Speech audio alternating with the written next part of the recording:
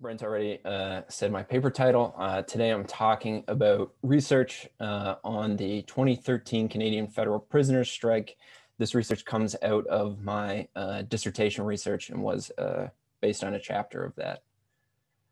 Uh, so to give an overview of this strike, so what I'm talking about is a strike that occurred mostly in October 2013 and happened in response to the implementation of a 30% wage cut for federal prisoners. This was part of a broader uh, Harper conservative government tough on crime agenda and a suite of changes that were made to the prison system at that time. Um, this policy was uh, supposed to save or purported to save $4 million. And to put that into perspective of the uh, Correctional Services of Canada's billion dollar plus budget. That is about the same amount of money as would be saved by paroling 53 federal prisoners. Uh, uh, the bulk of the lasted about a month, although at some prisons or some units within prisons uh, stayed on strikes into January of 2014. And overall, at least 18 of Canada's 43 federal prisons uh, participated in the strike. It's difficult to actually get the full picture, but based on my research, uh, 18 uh, prisons were confirmed to participate, and this crossed Canada and included institutions in all of CSC's five reason, regions of Atlantic, Quebec, Ontario, Prairies, and Pacific. So just to kind of illustrate what the strike looked like, uh, on the first day, three prisons in Ontario, Bath, Collins Bay, or sorry, four prisons, Bath, Collins Bay, Fenbrook, and Warkworth institutions struck. Uh, and this was the first day that the pay cut policy came into effect. By October 3rd, uh, prisons in New Brunswick, Quebec, and Saskatchewan had joined. And by October 10th, 10 more institutions had joined. The strike became Canada wide uh, with prisons in Manitoba and BC also joining in. I want to uh, do a bit of an aside here and just say something about federal prison labor in Canada so people have a sense of uh, what kind of jobs prisoners were striking from. Uh, in Canada, in the federal system, there's basically two main types of work. The first one being institutional maintenance. So this is working directly to make the uh, facilities or institution run. So cooking, cleaning, clerical work, uh, trades work, that kind of stuff. And then secondly is prison industries run by uh, what's called a special operating agency uh, called CORCAN. And CORCAN uh, has different business lines, uh, agriculture, construction, manufacturing, textiles, and services. And those services are mostly laundry and printing services. And Corcan uh, largely produces for what's called state use, which means that it is the correctional system uh, and the government kind of more broadly who's the main customer of Corcan and purchases the goods and services produced by it. Uh, there is a very small amount of private contracting of Corcan prison labor. There's a wrought iron fence company in Quebec and a fishing lure company in BC, uh, but this is really uh, not a very significant part of uh, Canadian prison industry. Until the uh, pay cuts were implemented in October 2013, the top pay for working uh, prisoners in the federal system was $6.90 per day, not per hour, but per day. Uh, and this was a wage which had been set in 1981 which means that in addition to the pay cuts that came into effect in 2013, prisoners had experienced effectively, you know, a 30 plus year uh, wage freeze and their wages were eroded by uh, inflation over that time. The average wage of a prisoner in 2013 when the strike happened was $3 per day.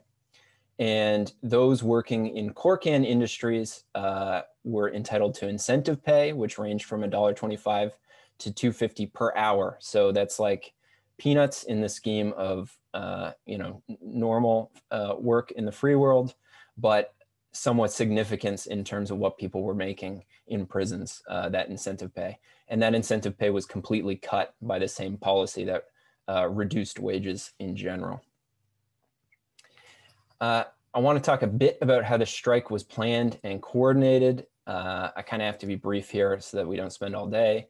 Um, but organizers began planning against the cuts as soon as they were announced earlier in 2013 in May. And organizers that I spoke to um, very much indicated that they began organizing around the issue partially to avoid the possibility of riots breaking out and saw uh, organizing in favor of a strike as a way of mitigating that. Although uh, strike organizers were kind of split and had different opinions between whether pursuing things through kind of legal channels in a lawsuit or work stoppages and strike uh, action would be more effective. In the end, prisoners uh, ended up doing both, and I'll talk more about that in a minute. Uh, several organizers ran for and won uh, elected range representative and inmate committee positions, and were able to use these uh, elected and authorized positions within the prison system to kind of um, organize organize the strike. And there were attempts at coordination between organizers, especially uh, between institutions, especially those on inmate committees. But inmate committees uh, in Canadian federal prisons are only authorized to communicate with each other uh, with CSC approval and prison strike organizing is not a uh, authorized activity, as you could imagine. Um, and so that meant that most efforts to communicate between institutions had to happen through mail and the letters that people sent each other did not arrive until after the strike had basically finished. There was also uh, some effort to do kind of public outreach and build public support for the strike. Uh, prisoners wrote op-eds, appeared on radio uh, and podcast episodes, and made some efforts to try to uh, reach out to supporters in, in different uh, cities. Although this was mostly unsuccessful once the strike happened, uh, support committees sprung up in a few places, Winnipeg and Kingston and Montreal in particular, but these were quite uh, ad hoc and spontaneous support efforts and the support committees were not in touch with each other at all. Um, some of my most interesting research on the strike, I think, has to do with the ways that prisoners built solidarity and tried to maintain unity throughout the strike.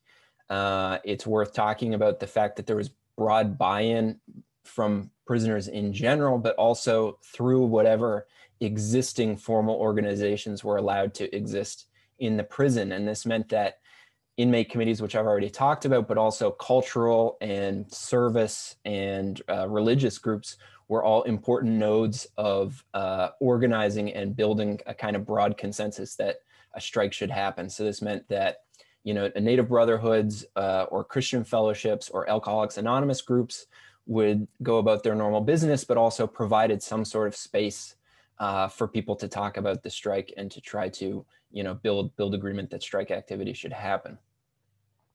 Uh, moreover, uh, organizers deliberately tried to institute democratic uh, decision-making processes in the lead up to and throughout the strike, uh, again, in order to ensure that there was broad buy-in and the strike would be viable. And so this looked different in different uh, prisons. Some had mass meetings, some had uh, open votes and others had very formal processes uh, with secret ballots. Uh, I, I, got an account from an organizer in Donnacona prison in, in uh, Quebec, and they actually had uh, guards help them run a secret ballot uh, strike vote. So that's pretty interesting.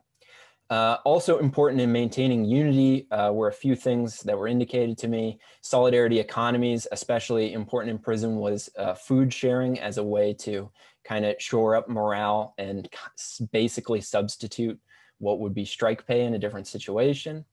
And there were also visible representation of, of unity, the most common thing that I talk to people about being the growing of strike beards. And this actually reminds me of something I should have mentioned earlier, uh, which is I could talk more about the dynamics of who participated in the strike and who didn't. But one interesting thing uh, is that it was ended up being all men's prison who struck despite there being support for the strike uh, from many of the women's prison in Canada. And so uh, I just wanted to give a bit of testimony from some of the organizers that I spoke to for this uh, research. So this is Jim, who's a a pseudonym for an organizer uh, in Joyceville uh, prison, talking about the uh, decision to go on strike there. So he says, you've got representatives of different groups, representatives of different ranges, you know, living units. And basically you hold a large meeting with everybody or as many of those leaders, executive members of the different groups and representatives of different segments of the population. And then there's a vote taken. So, you know, a pretty deliberate and formal process there. And then I also wanted uh, to uh, quote uh, Earl, another organizer in Joyceville, talking about this solidarity economy that I mentioned. And he says, most of the guys that had pull would lead by example and spend five bucks on somebody else, $3 on someone and help them out just so we would stick it out. You know, if one side of the institution is having canteen and the other side is not, then one side is thinking, I don't want to be part of this anymore. Uh, so what happened in response to the strike?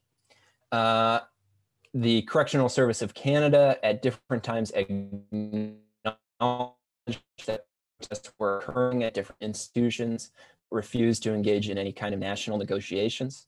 Uh, in terms of the government, uh, immediately after the strike started, the uh, public safety minister, Stephen Blaney, said that the strike was offensive to hardworking, law-abiding Canadians and basically indicated that the government was not going to uh, enter into any kind of negotiations. Similarly, um, a week or so into the strike, the Ministry of Public Safety and Emergency Preparedness uh, called it a silly publicity stunt. And then from uh, the opposition uh, parties in, in government, uh, nothing was, was said publicly. And likewise, um, the labor movement and the left was essentially silence uh, on the strike. One exception being the Federal Guards Union, uh, the UCCO, who basically used the strike as a way to highlight their own issues and said that the wage cuts compounded the danger in an already volatile situation in federal prisons, basically drawing attention to their own health and safety concerns. Uh, that said, there were some minor concessions, one in individual prisons. For example, in Joyceville, uh, in Corcan shops, all uh, workers were granted the highest level pay, uh, which is still a, a, small amount, but represented some kind of win to the strikers there. Uh, but ultimately, the policy was implemented in the, a later lawsuit that came out of um, the uh, opposition to this pay policy also failed. Uh, and so what I kind of want to end with here is if this strike, which is very much uh, something nearly unprecedented in Canada's history, you have to go back to the kind of troubled uh, times of the 1970s to find anything similar. Could a future prison strike be successful? Uh, or maybe what would it take for a future strike to be uh, successful? So one thing that I want to mention is the fact that uh, labor strikes have been identified by prisoners as being uh, viable tactics because they represent potentially more leverage than other kind of tactics like hunger strikes, you know, which rely on kind of people, you know, moral appeals, um, but that they don't have the same kind of economic leverage that a labor strike might have. And so if there's greater dependency on prison labor, this probably could translate into greater economic leverage. And there is some uh, possible indication that this is occurring uh, since during the COVID-19 crisis, Corcan has, uh, pandemic I should say, has, Corcan has re retooled some of its shops to produce uh, personal protective equipment. It's unclear exactly you know, to what extent that's the case or how important that is, but I think it, it's an interesting potential signal uh, that prison labor might actually be uh, important. Uh, smaller and more localized strikes since 2013 have been able to be successful. And so there is the potential of, of these maybe scaling up somehow. Uh, prisoners have won uh, gains through through labor strikes around better food and, and uh, larger food portions.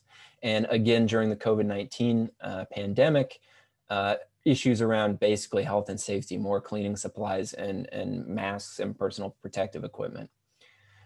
Uh, that said, I think what my research shows, and I'd be happy to talk in more detail about this, is that there is uh, serious barriers to prisoner strike activity in Canada. There's a clear need for greater organizational capacity for prisoners. Uh, you know, the lack of any kind of outside coordination body um, to facilitate communication or to the building of a broader coalition of support, like especially from potentially the labor movement, uh, are, are a few obvious things uh, that seem to be barriers now or, or would have to be developed in the future. And, you know, with that said, I think it, it's interesting to me looking at uh, the failure of the uh, prison strike in 2013 to say, uh, if this isn't a viable form of prison protest, then what might prisoners choose to engage in? And again, during COVID-19, there's been a number of hunger strikes, uh, especially in facilities like immigration detention facilities where work is not very significant. Um, and of course, you know, there is always the possibility of riots um, becoming a, a, potential outlet to uh, discontent in Canadian prisons.